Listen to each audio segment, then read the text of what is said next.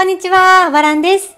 今日は淡い色味がポイントの可愛らしいチューリップのアクセサリーパーツを作っていきたいと思います。ワイヤーと着色剤で仕上げるのでぜひご覧ください。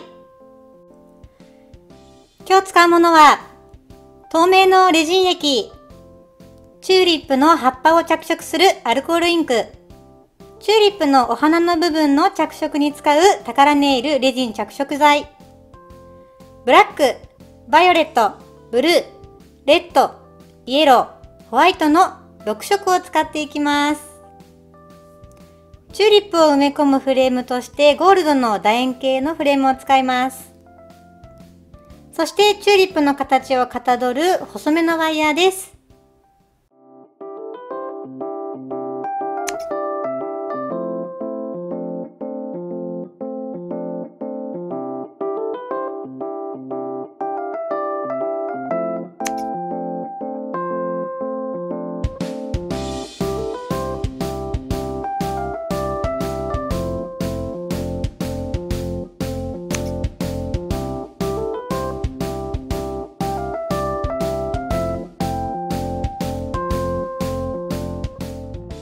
それではワイヤーでチューリップを作っていきます。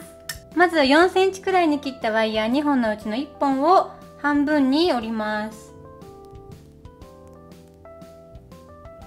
半分に折ったらペンチなどでこの先っぽを潰します。こんな風に潰れたらこの間をまた少し戻します。こうするとこの先っぽの角度がキュッとなるので綺麗に仕上がると思います。でこの間にこういうペン先のようなもののちょっと細い部分を使って巻きつける感じで曲線をつけます。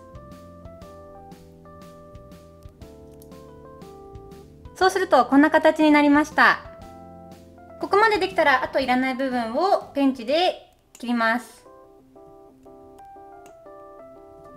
こんな感じで切れました。でこのつなぎ目のところにちょっと隙間があるのでここからレジンが漏れてしまうのでこの歪みをちょっと直します。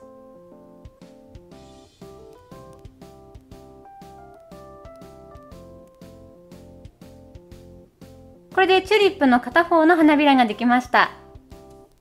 もう一本の4センチにカットしたワイヤーも同じように半分で折って潰します。同じようにペンチで先っぽを尖らせます。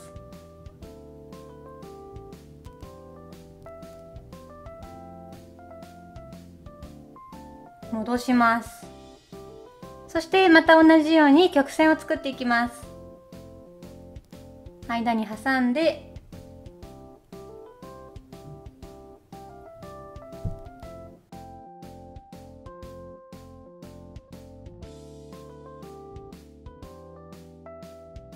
次に最初に作った花びらと合体させるためにワイヤーのこの右側の部分を切ります。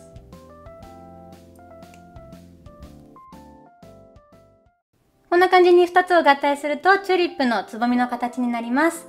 最後にここの部分をカットしておしまいです。今度は5センチに切ったワイヤーで葉っぱを作っていきます。葉っぱも同じように真ん中で折って先っぽを潰します。ペンチでさらに潰します。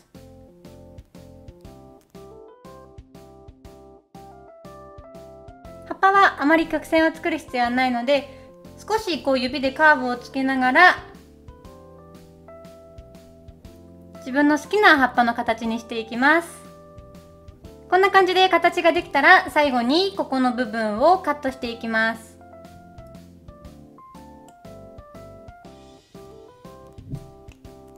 これで葉っぱが完成です。こんな感じで形が出来上がったので次に着色をしていきます。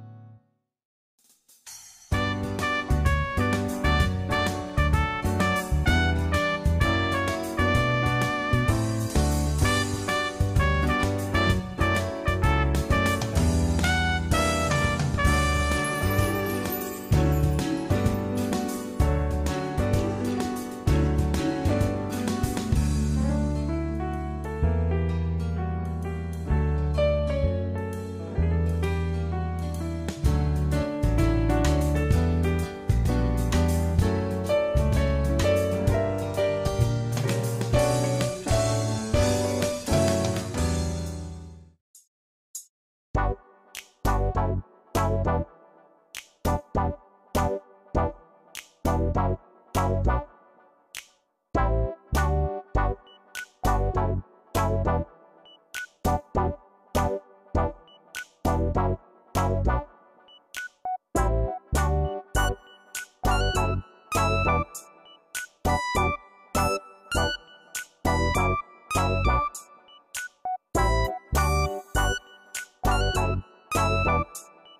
Bye.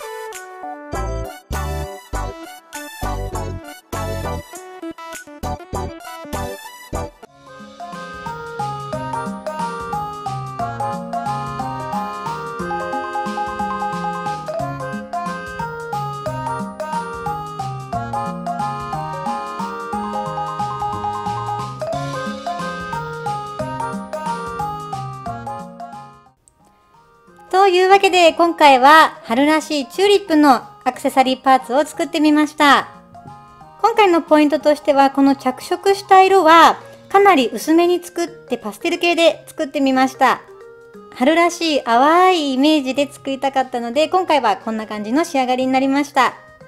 こういったパーツはイヤリングや指輪にも使えると思うのでぜひ試してみてください。ここまで見ていただき本当にありがとうございました。今またワイヤーを使って新しい形のアクセサリーパーツを作っている最中なので、ぜひそちらもチェックしていただきたいです。なので、ぜひぜひチャンネル登録よろしくお願いします。またぜひ次回の動画も見てください。ありがとうございました。